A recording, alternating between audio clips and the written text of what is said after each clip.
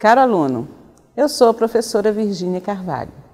Estamos abrindo o seminário integrador dessa etapa, que envolverá as disciplinas de Fundamentos da Administração, Fundamentos da Economia, Organização Empresarial. Vocês deverão se organizar em grupos, sendo cada grupo composto no máximo por cinco alunos. A divisão dos grupos será feita presencialmente no polo e valerá, junto com o planejamento do seminário integrador, dois pontos em cada disciplina. Fique atento ao calendário e ao seu momento de tutoria, pois essa atividade de formação de grupos e planejamento trata-se de um momento obrigatório. Cada grupo deverá escolher uma empresa da sua região.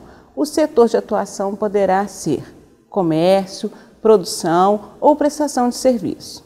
A equipe deverá realizar um diagnóstico das atividades de organização e métodos de trabalho e ainda desenvolver uma análise organizacional de um setor escolhido na empresa, que poderá ser finanças, materiais, marketing, gestão de pessoas ou produtos, serviços prestados.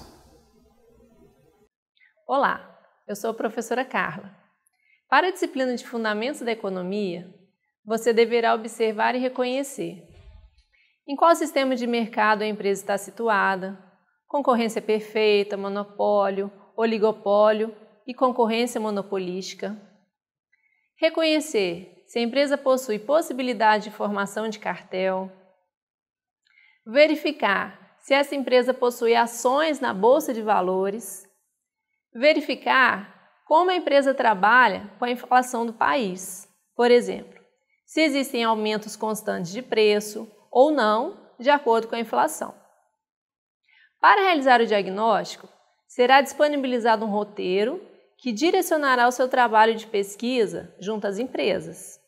É importante ressaltar que o trabalho será o mesmo para as disciplinas de Fundamentos da Administração, Fundamentos da Economia e Organização Empresarial.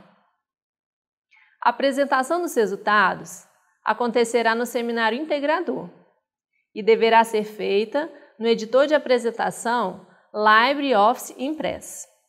Neste mesmo momento, vocês deverão entregar o relatório final em arquivo para o tutor presencial, de preferência em formato PDF. A pontuação do seminário integrador é de 30 pontos, sendo 20 pontos para o relatório final e 10 pontos para a apresentação presencial. Fique atento ao prazo de realização e, em caso de dúvida, não deixe de procurar o seu tutor. Bom estudo! Sucesso!